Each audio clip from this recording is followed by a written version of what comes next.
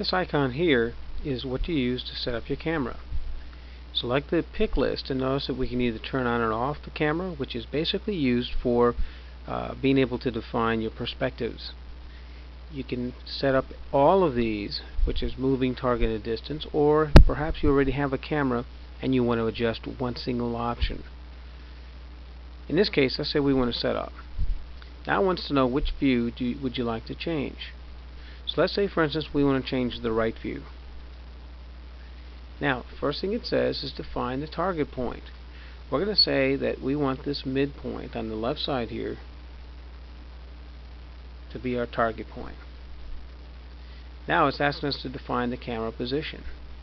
Again we can rotate this in any other view and let's suggest something like this and now it's asking us for a front clipping plane and remember the front clipping plane determines what and how much you're seeing in the direction and touch the second one. Now based on this notice that it's cut off some lines but if we fit it we now have a perspective that was based on those three points. Let's try it again.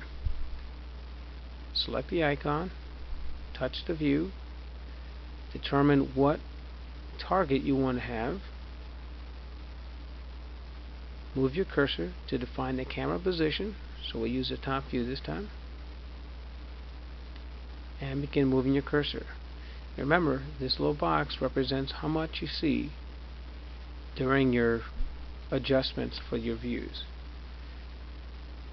Now, if too much gets clipped, just simply hit the mountain, which is the update or the fit command, and touch the screen. And there is how we use that camera.